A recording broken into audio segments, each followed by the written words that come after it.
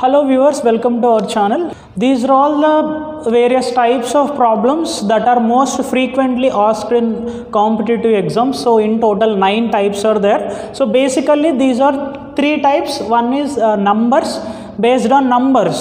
So based on 1, 2, 3, okay, numbers. Uh, when it comes to words, it is usually based on alphabets or words. And the others are uh, sometimes they may ask uh, using by taking some objects some vehicles or something else and persons. Okay? So these are all the most frequently asked nine types of problems that are expected from permutations. Okay?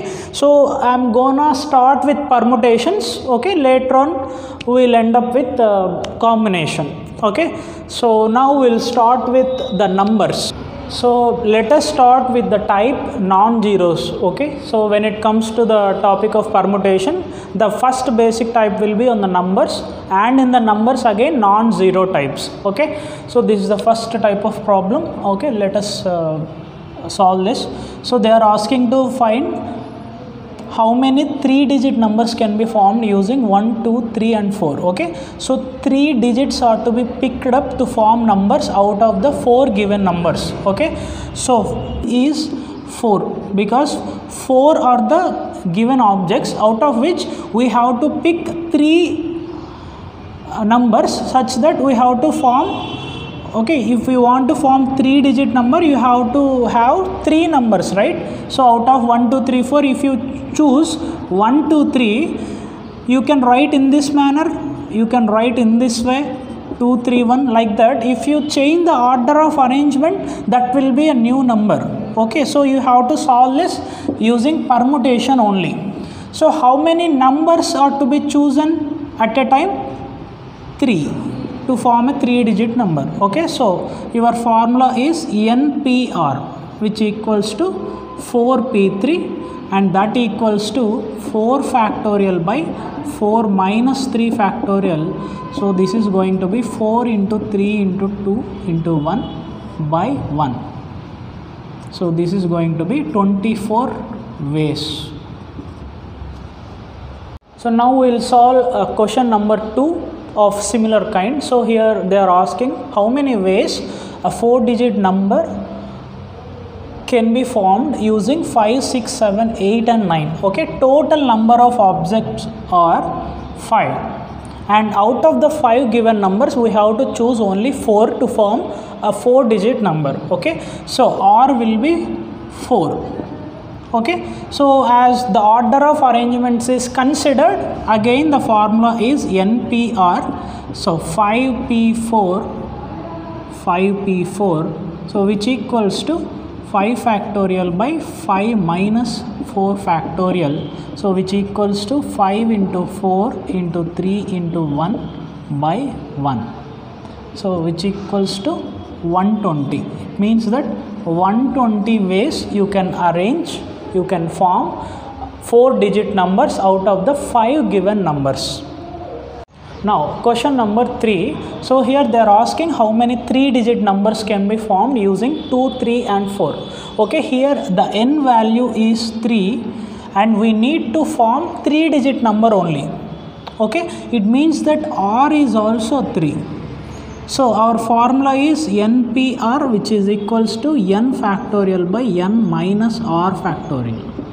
So here 3 factorial by 3 minus 3 factorial. So now 3 factorial by 0 factorial. So viewers remember 0 factorial is always equals to 1.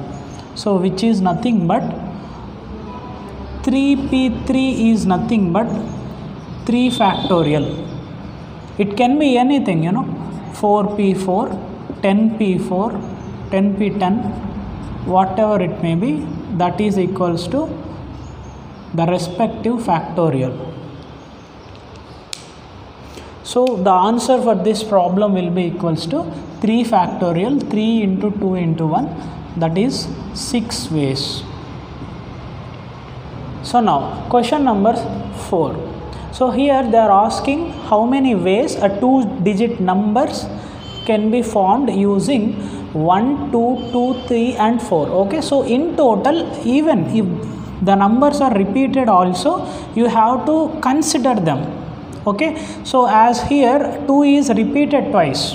Okay even though you have to consider it. So our n is 5 okay?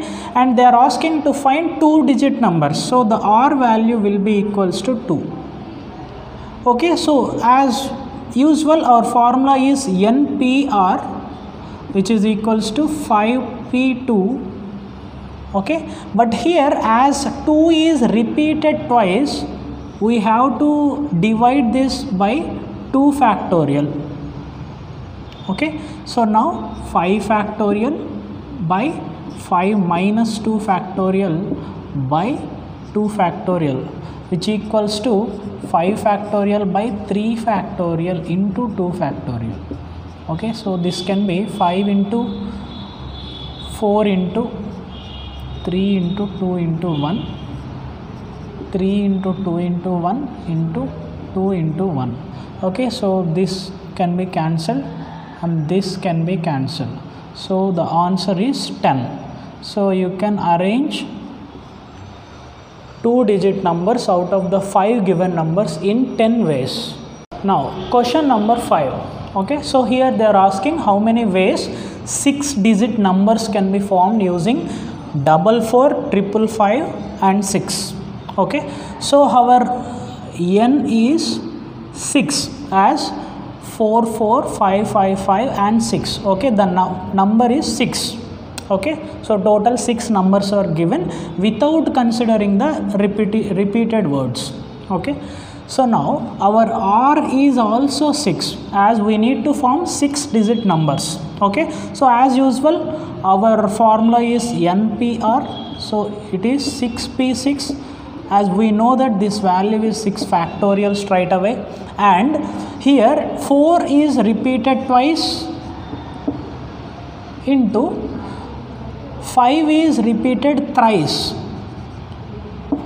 So 3 factorial. So it, which is equals to 6 into 5 into 4 into 3 into 2 into 1 2 into 1 into 3 into 2 into 1 so these two will get cancelled and this is twice.